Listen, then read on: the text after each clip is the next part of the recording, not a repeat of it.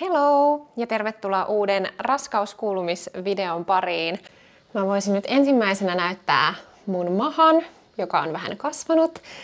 Ää, tänään on 16 plus 5 viikot. Eli aika nopeasti menee. Ja tota, tämmönen pieni pötsi. Tämmöiset niinku rippikuosiset. Ja mulla on siis Aimilta ollut aikaisemmin mustat tämmöiset mammatrikoot. Ja ne oli siis tosi hyvät, ja mulla on edelleenkin käytössä, mutta ne on koko M. Ja en mä todellakaan pystynyt pitämään niitä enää varmaan viikolla 30 ja siitä eteenpäin viime raskaudessa, koska mua ahistaa, jos vatsasta on yhtään liian tiukka. Niin mä otin nyt XL, mutta ei nääkään nyt niin isot oo. Et en mä usko, että nämä tulee mulle loppuun asti menemään. Nyt on kahdet mammatrikoot. Trikoilla mä eniten meen. No niin, mennään itse asiaan. Ää, Mä ajattelin puhua nyt ensimmäisenä Niskapoimu Ultrasta, joka meillä oli 12 plus 4 viikoilla. Ja mua jännittää ne aina etukäteen ihan tosi paljon. Ja mun on esimerkiksi vähän vaikea saada kunnolla nukuttua edeltävä yö ja jotenkin sitä jännittää, että onko kaikki hyvin, mikä on varmaan todella todella yleistä. Ja sitten silloin aamuna, kun meillä on se, niin mä jotenkin mun on vaikea syödä ja vaikea keskittyä mihinkään. Nytkin mä tein töitä siinä aamulla hetken aikaa, niin jotenkin joutu skarppaamaan, että pysty keskittymään. Ja sit mä oon jotenkin ihan täpinöissäni ja sit siellä kun istutaan odotushuoneessa, niin mä huomaan, että mun kämmenet hikoo ja syke on vähän korkeampi. Mutta sitten taas tää on hauska, koska sitten, no meillä oli siellä niskapoimu ultrassa tai niskaturvotus ultrassa kaikki hyvin, niin tota, Atte taas on ennen sitä ultraa tosi semmonen viilipytty. tosi rauhallinen ja hän on, että no ei hän nyt niin paljon jännitä ja, ja jotenkin hän ainakin sanoo, ja ei hänestä varmaan sitten tunnu niin se jännitys siinä ennen. Mutta sitten kun me päästään sieltä pois ja me ollaan niin nähty vauvoja ja kuultu, että kaikki on niin kuin pitääkin siinä vaiheessa, niin tota, sitten kun me tullaan pois sieltä, niin mulla on vaan semmoinen niinku raukea ja helpottunut olemaan se, että ah, taas voi niinku hetken hengähtää. Niin sitten siinä vaiheessa Atelle tulee joku jäätävä niin kuin jännitys, se niin kuin purkautuu, että huomaa, että häntä on kyllä jännittänyt, mutta se jotenkin näkyy vasta sen jälkeen, että sitten Atte on aina, kun me tullaan niistä ultrista, niin Atte on se, että huhuh, että onpa jännittävää, että, että hän kyllä jännittää jotenkin nyt niin paljon. Ja tyyli hänen hikoon ne kämmenet sen ultran jälkeen, niin toi on hauska, hauska ero, miten itse jännittää tosi paljon etukäteen ja sitten Atella se näkyy vasta sit sen ultran jälkeen, kun mun jännitys on taas niinku kadonnut. Ja musta tuntuu, että mulla usein katoaa se jännitys jo siinä, kun mä menen siihen penkille ja mä vaan näen, että siellä on elävä sikiö, vaikka eihän se nyt mitään takaa jossain niskaturvotusultrassa tai rakenneultrassa, mutta tavallaan siinä vaiheessa mulla tulee jotenkin jo semmoinen, oh, siellä on elämää. mutta joo, toi on hauska, kun sit Atella se näkyy tosiaan jälkeenpäin se jännitys. Mutta meillä oli tosi ihana ultraaja ja se kertoi tosi tarkkaan, että mitä hän näki ja näin. Ja kaikki oli siis niskaturvotus ja kaikki oli ok ja mä kävin siinä ää, veri, onko se sitten joku seerumi näyte, mikä otettiin verestä niillä tietyillä viikoilla ennen sitä ää, ultraa, niin niissä oli sitten kaikki, kun tuli ne tulokset, niin kaikki oli hyvin, niin siinä kyllä aina niin kuin tulee niin helpottunut olo.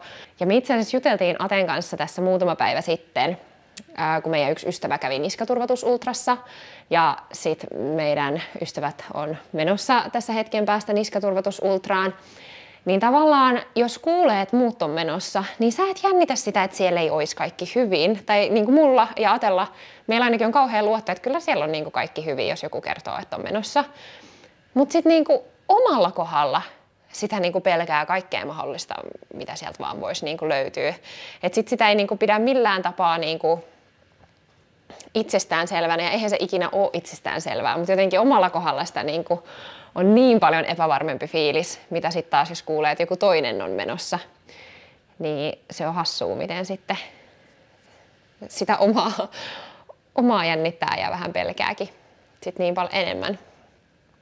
Mutta joo, en tiedä, onko sekin yleistä, mutta ainakin meillä oli molemmilla samanlaiset fiilikset. Sitten mä voisin vähän myös kertoa ää, noista mun peloista. Viimeksi kerroin viime videollakin vähän, mutta tosiaan mä siis pelkään raskauden aikana, että kaikki ei mene hyvin, mikä on varmaan aika yleistä, että on semmoinen pieni pelko. Mutta mulla siis pelko näkyy ehkä eniten siinä, että mä vahtaan todella, todella tarkkaan, mitä mä syön. Ja tavallaan mulle ei riitä se neuvolan lista, missä on ne kielletyt ruokajutut tai ruokasuositukset, mitä nyt ikinä onkaan, niin mä oon tavallaan keksinyt itse semmoisia mahdollisia muitakin vältettäviä ruokia, että mä nyt vaan saa mitään listeriaa tai toksoplasmoosia. Ja tota, mä en voi sille mitään. Mä tiedän, että se on tosi niinku järjetöntä tämä, mitä mä teen. Esimerkiksi mä en just syö muiden pesemiä kasviksia, paitsi aten, jos mä tiedän, että se on pessynyt tosi tosi hyvin. Mutta mä en voi esimerkiksi mennä jonnekin kylään syömään ja ottaa siellä salaatteja, koska mä en ole itse pessyt sitä. Ja sitten myös esimerkiksi, jos mä lämmitän uudelleen jotakin ruokaa tai vaikka valmisruokaa, niin mä oon todella todella tarkka, että se oikeasti on kuplivan kuumaa joka puolelta. Ja itse asiassa töissä muutama työkaveri oli huomannut tämän mun maanisen ruoan lämmityksen ja tomaattien hinkuttamisen.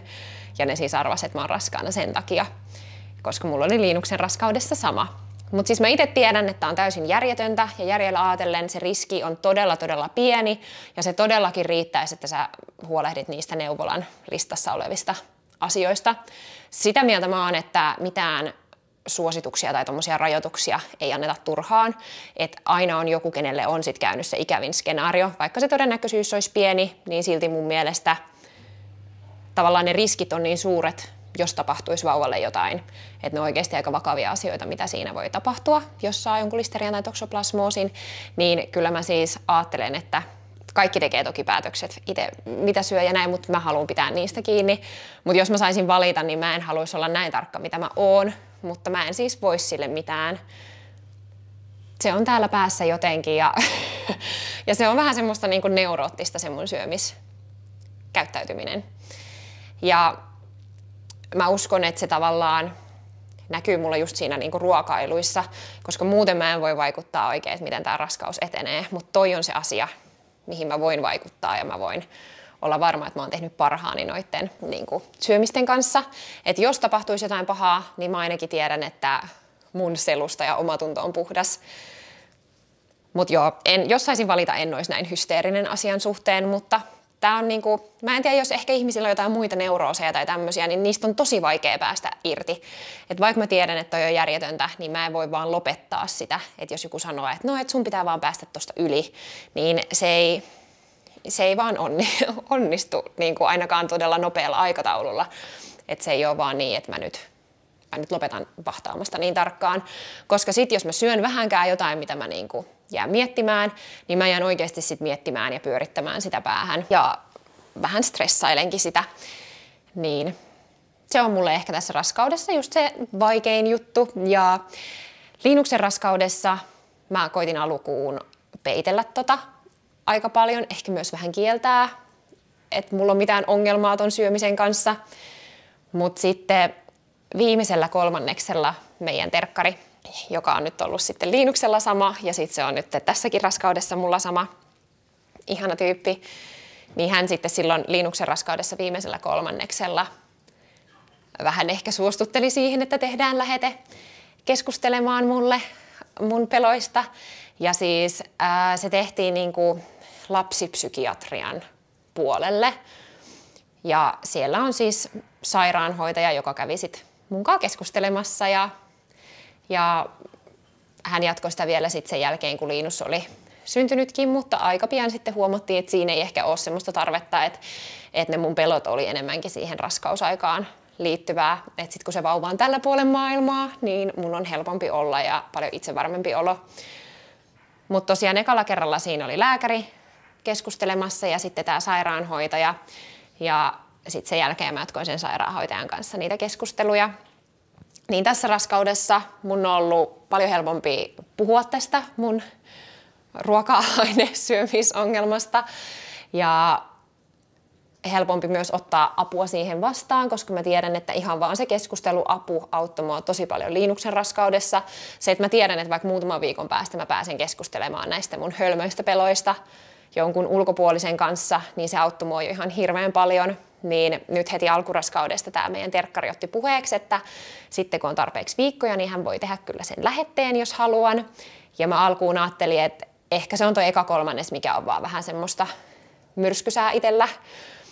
Niin toivoin, että en olisi tarvinnut sitä lähetettä ja voisin olla rennommin mielin syömisten ja muiden asioiden suhteen. Mutta ää, ylläri ylläri, en, en ole voinut niistä hellittää. Ja sitten kun käytiin viimeksi neuvolassa, se oli ton niskaturvatus ultran jälkeen, olisiko ollut viikko vai kaksi jälkeen, niin tota, oltiin Aten kanssa yhdessä, niin silloin tämä meidän terkkari kysyi, että mitä teille kuuluu. Sitten mä sanoin, että kuuluu hyvää, mutta että toi mun ruokakäyttäytyminen ja ne neuroosit siihen liittyen tai se niin semmoinen pakonomainen ruokakäyttäytyminen on ihan samanlaista mitä Liinuksen kanssa, että mä kyllä mielellään otan sen lähetteen, jos vaan mahdollista.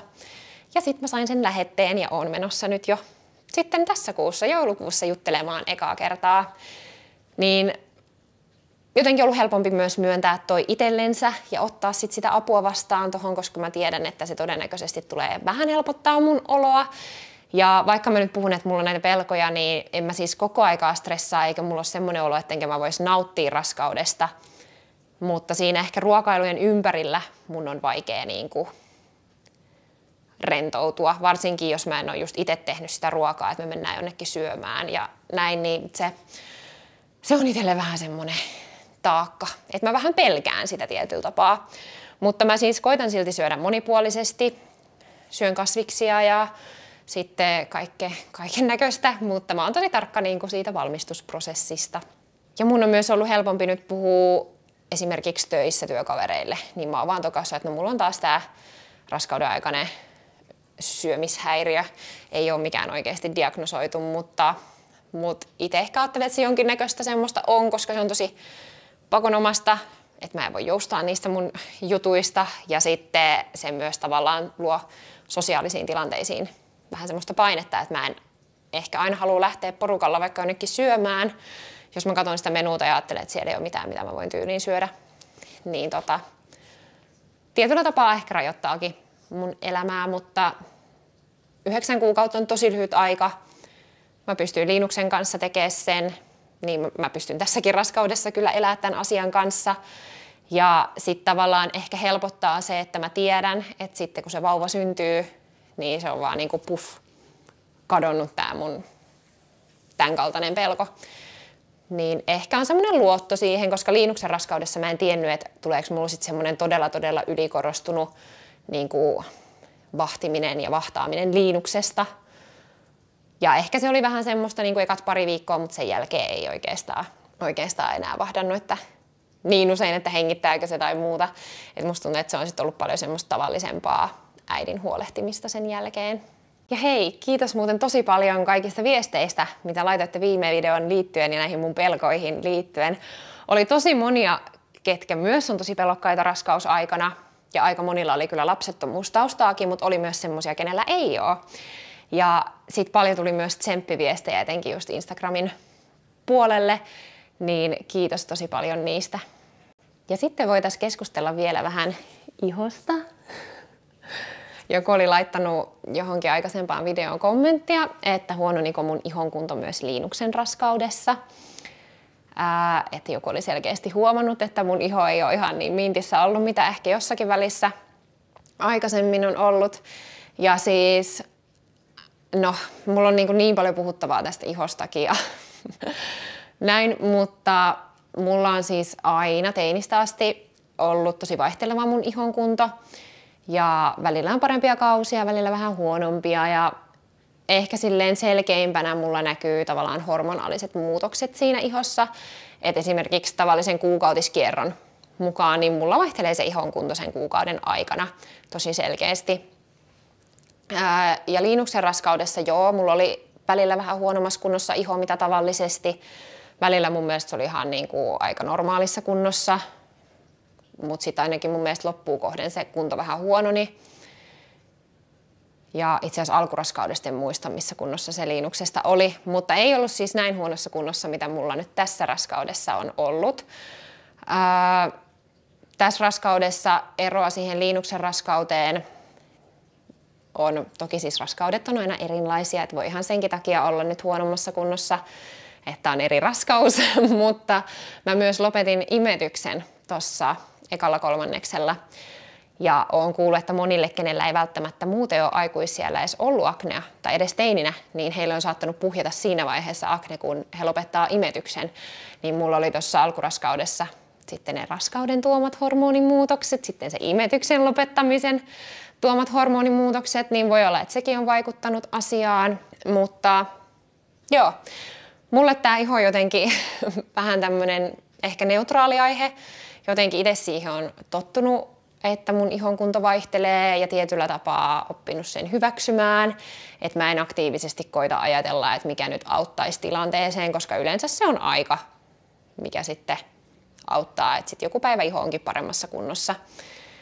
Mutta toki iho on mulla myös se mun suurin epävarmuustekijä ehkä itsessäni.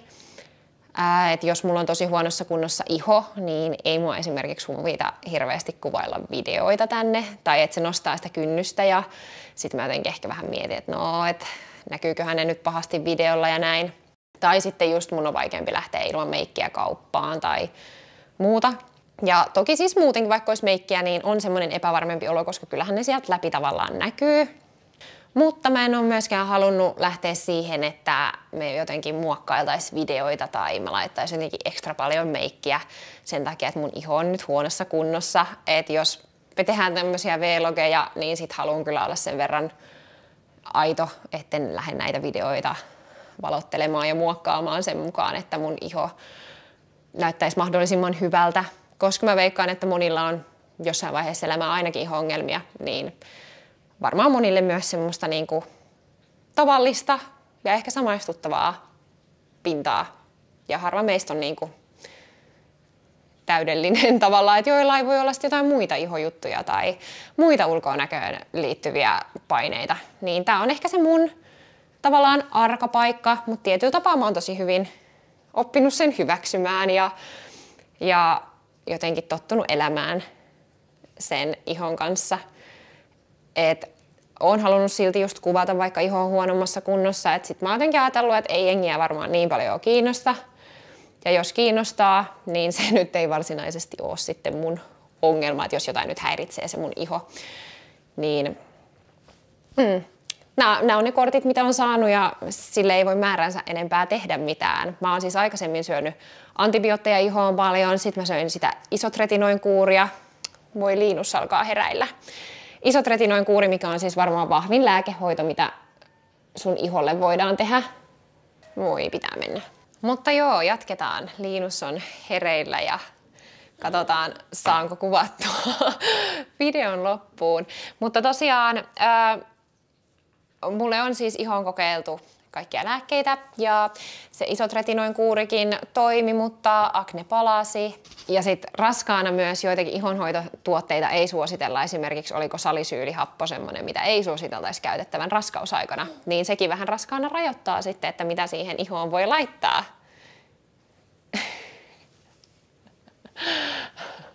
pientä haastetta, pientä haastetta.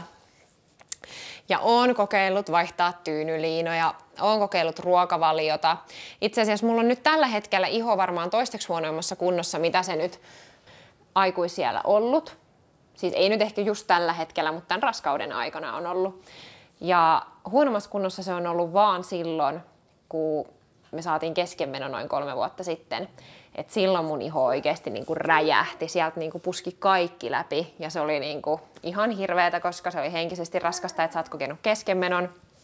Plus sitten, että sä saat niinku aivan jäätävän aknen päälle. Niin silloin mä kokeilin, pöö! Mä säikytellään tuolta sohvapöydän takaa. Pöö!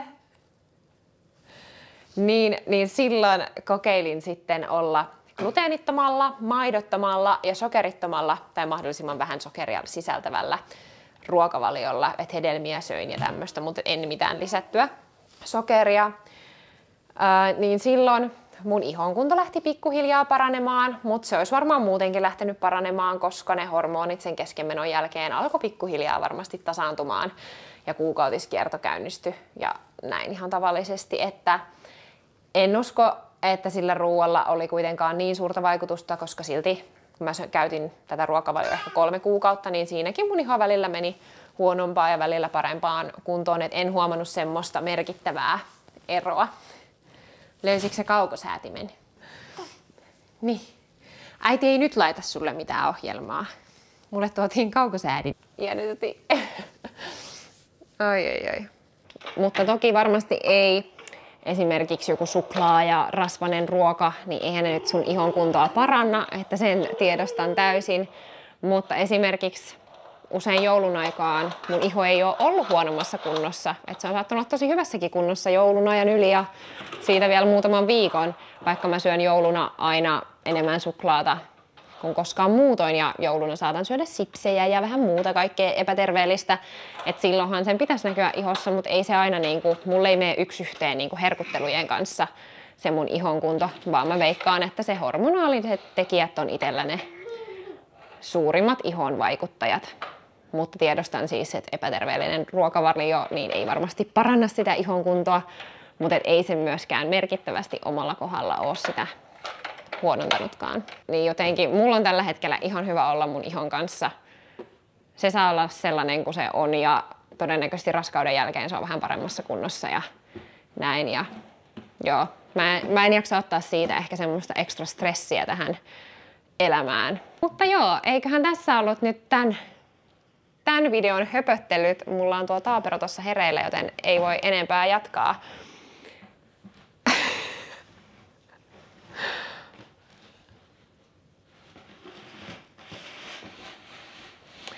Kiitos tosi paljon, jos jaksoit katsoa koko videon ja saa aina laittaa viestiä ja kommenttia, mitä ajatuksia video teissä herättää. Mä oon tekemässä mun vanhemmille herkkujoulukalenteria, niin tuolla kassissa on suklaat siihen. Ethän minä varastaa suklaata! Niin, joo. Kiitos paljon ja toivottavasti nähdään teidät ensi videon parissa taas.